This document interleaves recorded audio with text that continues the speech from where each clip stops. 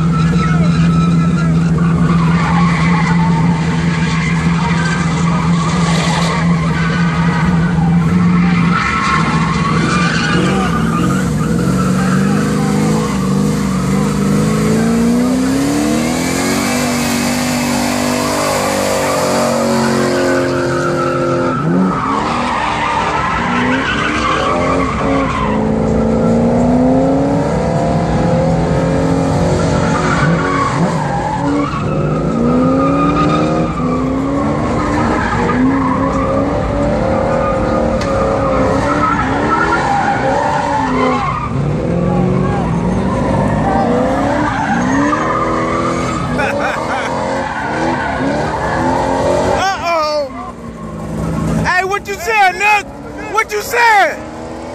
What you saying? No.